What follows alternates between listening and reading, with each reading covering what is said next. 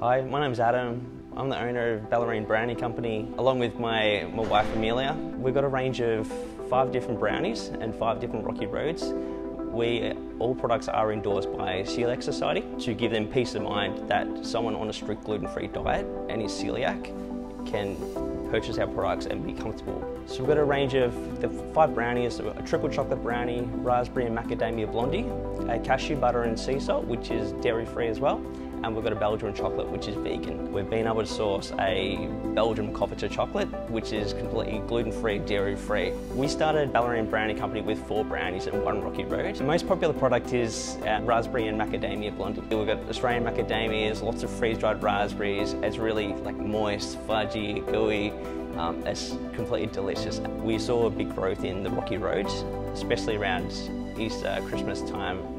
Really great for gifts as well. Just recently we launched Bellarine Rocky Road Company. Our Rocky Roads aren't completely filled up with marshmallows. We're a peanut-free facility also, so we don't add peanuts to any products. We've got very strict processes in place. We do laboratory testing as well.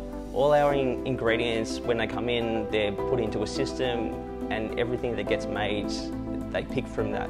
So everything is traceable. We sell our products at the pantry, local pantry, a lot of local stores, and then a lot of Melbourne stores and interstate as well. We still do markets probably two to three a weekend.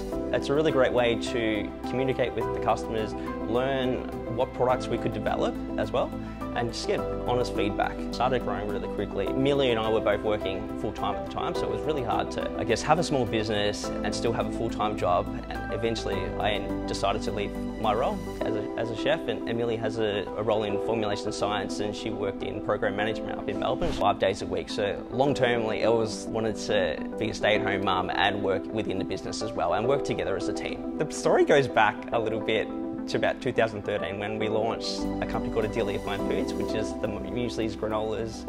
We did that for about five years in our house until we had children and then we were like, oh, we need to get a warehouse. So we found a facility in Ocean Grove because we wanted to stay loyal to the Bellarine Peninsula. And once we got this warehouse, we are like, oh, it's, it's pretty big. And then we sort of started thinking, we make really good brownies, let's try and develop a, a brownie range. And then using that facility with the extra space we had, we launched that back in 2017. It was the launch date was the day our second daughter was born, so it was pretty much birth of the child and I had to go and back to the facility and make brownies. Once we moved into our the warehouse, we employed our first staff member. Then from every two months onwards from after that, we employed another staff member and it's continued to grow since then.